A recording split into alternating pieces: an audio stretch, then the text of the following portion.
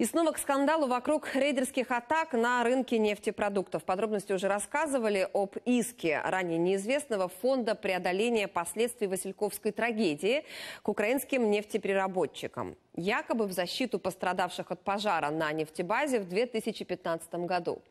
Однако юристы и эксперты обвиняют фонд в мошенничестве и попытке нажиться на чужом горе. Сегодня руководители фонда устроили у стен нашей редакции акцию, требуя от подробностей опровергнуть данную информацию. Подробности в материале.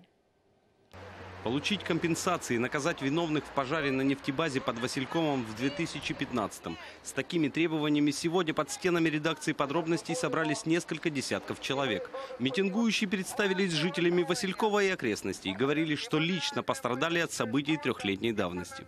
Привело те, що нам потрібно було звернутися сюди, тому що нас ніхто тут не хоче підтримати, ніхто вислухати.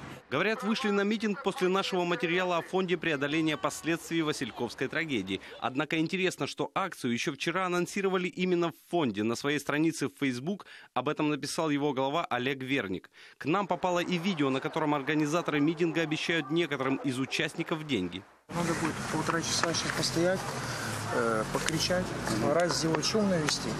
Э, я за полтора часа по 150 гривен. Я потом день не разобью и уже вам туда, там, ну, остаток, то, что надо будет, выдам.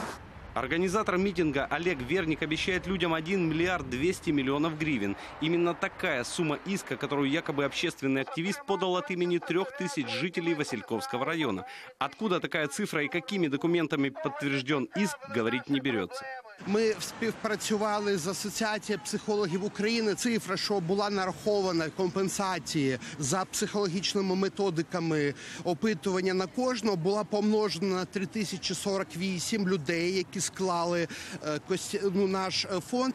Однако юристы и эксперты рынка нефтепродуктов винят руководство фонда преодоления последствий Васильковской трагедии в мошенничестве и попытках нажиться на чужом горе. Не исключают, за фондом может стоять экс-министр энергетики при Януковиче Эдуард Ставицкий, активно пытающийся вернуть свой бизнес на рынке АЗС. Большинство участников рынка склоняется к этому, что это как раз является одним из бизнес-активов Ставицкого. Прикрываясь такими организациями, некоторые и политические силы набивают себе капитал. Организатор митинга Олег Верник ранее поддерживал тесную связь с еще одним приближенным Януковича Дмитрием Табачником. Близко дружит и со скандальным российским политологом Алексеем Кочетковым, называвшим Майдан сборищем нацистов. Юристы уверены, действует псевдоактивист далеко не в интересах людей, и свои деньги жители Василькова не получат. Есть э, по-настоящему патриоты, которые отстаивают э, права граждан, а есть вымогатели. Они э, шантажируют как застройщиков, как э, бизнесменов, дискредитируют действительно настоящих э, гражданских активистов, которые э, ну, борются за то, чтобы у нас в стране что-то наладилось, а не просто как вымогатели. Кто именно стоит за фондом преодоления последствий Васильковской трагедии и кто пытается нажиться на горе людей, вскоре могут выяснить правоохранители. Украинские нефтетрейдеры и операторы АЗС уже готовят обращение в ГПУ и МВД. Константин Редин, Леонид Аборин. Подробности телеканал Интер.